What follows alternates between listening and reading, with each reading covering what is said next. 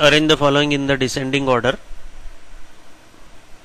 2 upon 9 2 upon 3 and 8 upon 21 2 upon 9 2 upon 3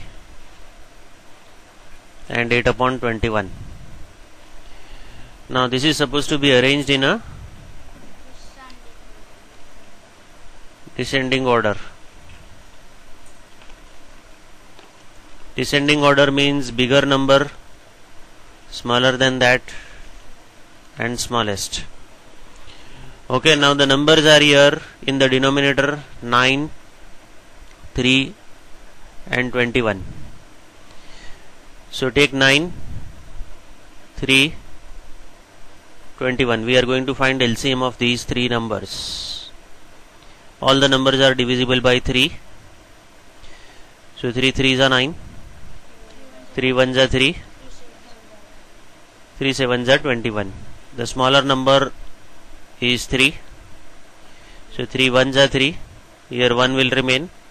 It is not divisible by 3 last thing is 7 1s are 7 1s are 7 these both will remain 1 1 so the LCM is 3 into 3 into 7 3 3s are 9 9 7s are 63 63 is the LCM so I will write over here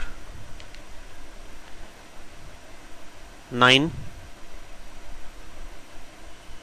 2 by 3 this will be 2 by 9 this will be 8 by 21 now all these denominators will have to made equal that is 63 now 9 7s are 63 here also you multiply by 7 3 will be multiplied with 21 to get 63 this also will be multiplied with 21 21 will be multiplied with 3 to become 63 this also will be multiplied with 3 now 2 7s are 14 upon 63 this will become 2 into 21 that is 42 upon 63 and 8 3s are 24 divided by 63 now which is the biggest here?